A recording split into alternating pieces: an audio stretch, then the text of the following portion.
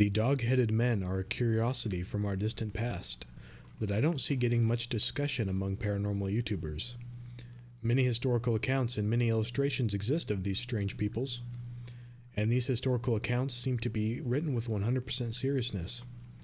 There is, of course, the depictions created by the Egyptians and beyond of supernatural beings with dog or jackal heads. But moving beyond that to history as recent as medieval times, we have multiple accounts from relatively respected sources that describe these strange men. We have, of course, the interesting Orthodox depictions of St. Christopher that prominently display the holy man with the head of a dog. St. Christopher was a martyr killed during the reign of the 3rd century Roman Emperor Decius. Interestingly, his most famous legend tells that he carried a child who was unknown to him across a river before the child revealed himself as Christ. Therefore, he is the patron saint of travelers, and small images of him are often worn around the neck or carried in the pocket. The German bishop and poet Walter of Speyer portrayed St. Christopher as a giant man with a dog's head, who ate human flesh and barked. Eventually, Christopher met Christ, repented his former behavior, and received baptism, and as such was rewarded with a human appearance. But back to the other historical accounts of these dog headed men. Many scholars claim to encounter these dog headed men near India, and interestingly, these scholars did not have any contact with each other, and it is unlikely that they were aware of each other's work. Our first example, Ibn Battuta, was a Moroccan scholar that claims to have encountered these dog mouthed people on his travels. I will read you his account now. Fifteen days after leaving Sunaradiwan, we reached the country of Bara Kanar, whose mouths are like those of dogs. This tribe is a rabble, professing neither the religion of the Hindus nor any other. They live in reed huts roofed with grasses on the seashore, and have abundant banana, areca, and betel trees. Their men are shaped like ourselves, except that their mouths are shaped like those of dogs. This is not the case with their women folk, however, who are endowed with surpassing beauty. Their men too go unclothed, not even hiding their nakedness except occasionally for an ornamental pouch of reeds suspended from their waist.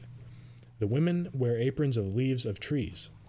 With them reside a number of Muslims from Bengal and Sumatra who occupy a separate quarter. The natives do all their trafficking with the merchants on the shore and bring them water on elephants because the water is at some distance from the coast, and they will not let the merchants go to draw it for themselves fearing for their women because they make advances to well formed for, well formed men. Elephants are numerous in their land, but no one may dispose of them except the Sultan, from whom they are brought in exchange for woven stuffs. Furthermore, Paul the Deacon was a Benedictine monk and scribe that rendered his educated services to the Lombards in Italy. He wrote many texts, but the one that contains the passage that is most interesting to me is called the Historia Gentis Langobardorum. I will read this passage to you now. Cynocephaly. That is, men with dogs' heads. They spread the rumor among the enemy that these men wage war obstinately, drink human blood, and quaff their own gore if they cannot reach the foe. Interestingly, around the same time, at the court of Charlemagne, the Norse were given this attribution, which implies to me that it may have been a way to defame pagan peoples. It is interesting, however, that this attribution was used by primarily Muslim and Christian peoples against the outsiders of their faith. And to me, this makes it seem that there is something more to this than pure slanderous fabrication. The 9th century Frankish theologian Ratramnus wrote a letter Do the dog headed men have souls? Fittingly, this letter was all about whether or not the dog headed men should be considered human. I won't read you the letter here as it would take up the better part of 10 minutes, but I will provide a link in the description if you want to explore this further. But spoiler alert, he thought that they were humans, and that it was Christians' duty to preach the Gospels to them. Uh, Thomas of Cantimpré, Cantimpré?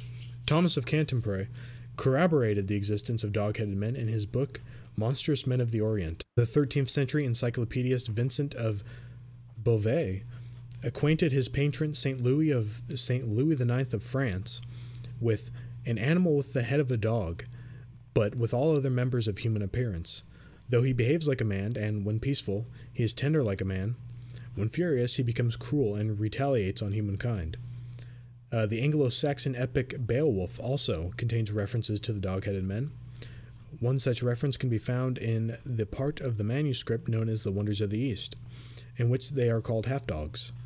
Also, in Anglo Saxon England, the Old English word wolf's heofod, wolf's head, was a technical term for an outlaw who could be killed as if he were a wolf.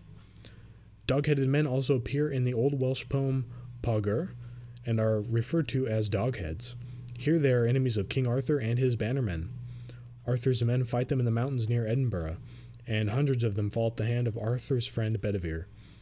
Marco Polo also claims to have met these strange peoples. Marco said that although these people grow the spices we seek, they are nonetheless cruel and behave just like unruly mastiff dogs.